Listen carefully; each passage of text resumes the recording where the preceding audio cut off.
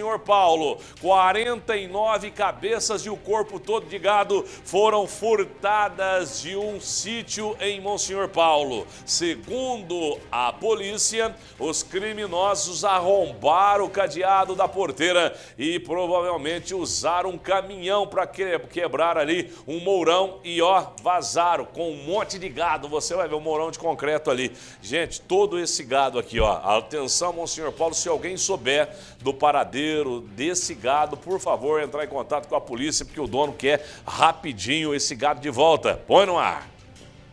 O Orivaldo estava viajando quando soube do furto. Um vizinho percebeu que o sítio localizado às margens da rodovia MG 267, em Monsenhor Paulo, havia sido invadido e imediatamente ligou para a vítima.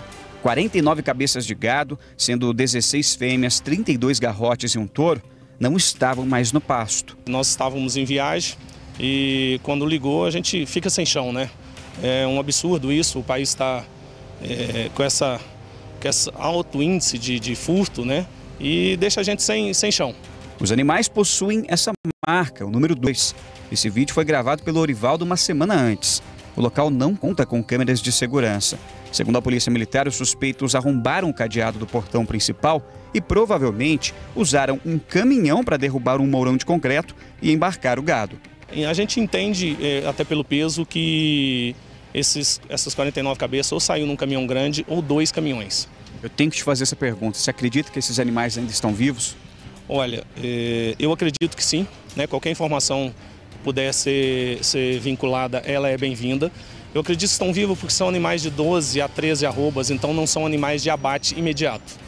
E olha só, não é a primeira vez que criminosos invadem a propriedade da vítima para furtar cabeças de gado. A primeira vez foi em setembro do ano passado. Na ocasião, sete animais foram furtados. A PM segue no rastreamento na tentativa de localizar os autores. O prejuízo do produtor ultrapassa os 100 mil reais. O prejuízo é grande. Né? É, você luta, produtor rural, então tem, tem uma dificuldade aí. Nós estamos passando uma, uma fase crítica né, no, no, na área rural. É, você tem um, um prejuízo Vamos estimar aí de uns 140 mil reais.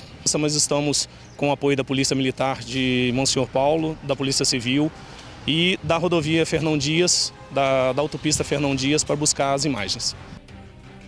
Então, essa rodovia